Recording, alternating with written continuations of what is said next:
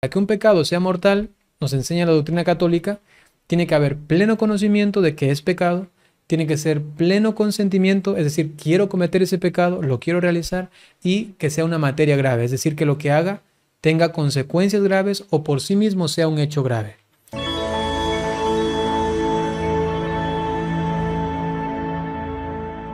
Oh, dice Manuel Vázquez, Padre, ¿puede decirme cuáles son todos los pecados mortales, es decir, puede orientarnos cuándo es que se debe ir a confesar y cuándo no es necesario.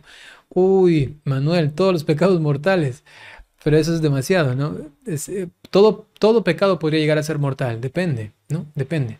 Depende de la materia, del pleno conocimiento y el pleno consentimiento. Atención, para que un pecado sea mortal, nos enseña la doctrina católica, tiene que haber pleno conocimiento de que es pecado, tiene que ser pleno consentimiento, es decir, quiero cometer ese pecado, lo quiero realizar y que sea una materia grave, es decir, que lo que haga tenga consecuencias graves o por sí mismo sea un hecho grave. Por ejemplo, robar un centavo es un pecado, sí, pero no es un pecado mortal, es un pecado venial.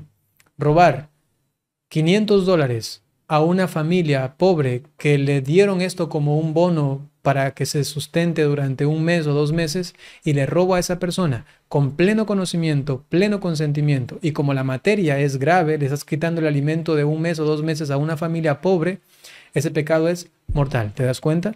Entonces, aunque tienen el mismo nombre, robar, uno puede ser mortal y otro puede ser venial. Entonces ahí entra en la casuística, es decir, cada persona tiene su conciencia y tiene que determinar concretamente ese pecado que yo he cometido en mi conciencia ha sido grave y si en tu conciencia ha tenido un peso grave y lo has hecho con pleno conocimiento y pleno consentimiento, eso es pecado mortal.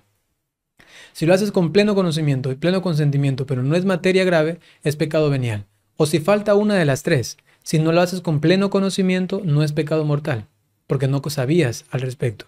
Si no lo haces con pleno consentimiento, tampoco es pecado mortal, porque no consentiste, quizá alguien te obligó o quizá no sabías que iba a tener esa consecuencia. ¿Se entiende?